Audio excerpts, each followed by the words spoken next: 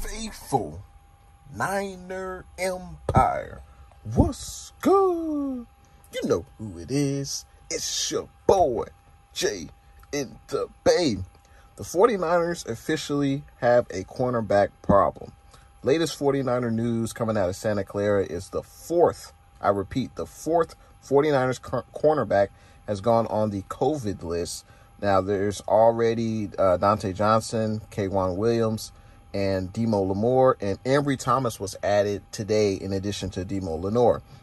We know Jimmy Ward was already added on the list a few days ago, and the only healthy cornerback on the field for the team is Josh Norman. Emmanuel Moseley did come back today.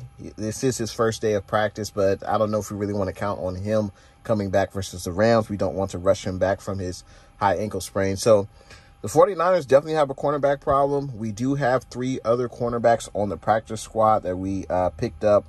Uh, uh, Baraku, Hill, and Dennard. They're all on the practice squad.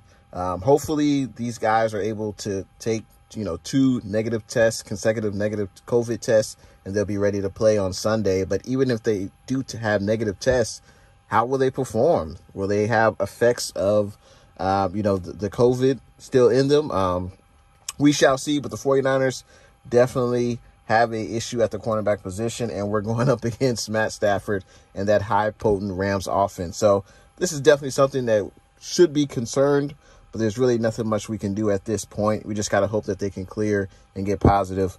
Uh, but that's the latest 49er news. Thanks for watching your boy, Jay in the Bay. See you guys in the next one.